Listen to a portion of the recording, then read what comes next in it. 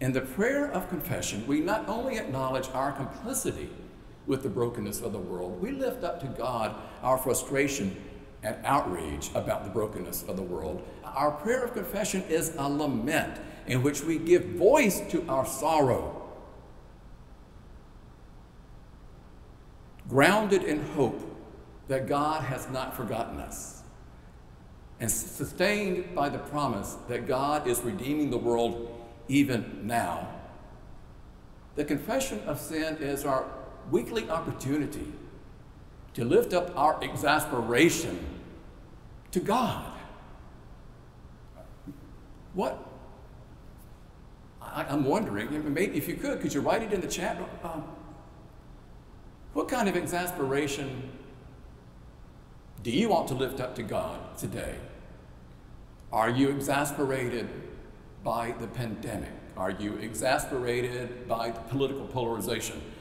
Are you exasperated by what? The confession of sin gives us this opportunity to say, Oh God, really? This is what the confession of sin does. In the confession of sin, we pray, Lord, this is our plight. Please make it right. Would, would you say that with me? Lord, this is our plight. Please make it right. I hope, I, I hope you at home will join with me in saying that. Lord, this is our plight. Please make it right. So when people go hungry in a world in which there is more than enough food to go around, we join together in saying, Lord, this is our plight. Please make it right.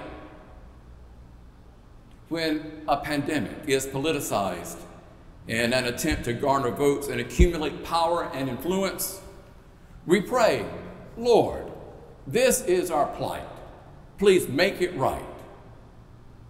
When our knee jerk reaction to those with whom we disagree is suspicion and denigration, we pray, Lord, this is our plight. Please make it right.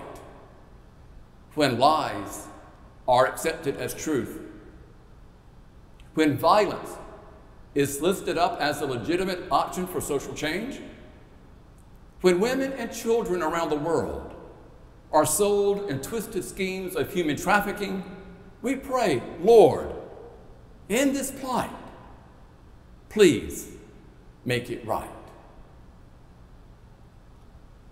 Why is Jesus baptized? Why does Jesus get in that river?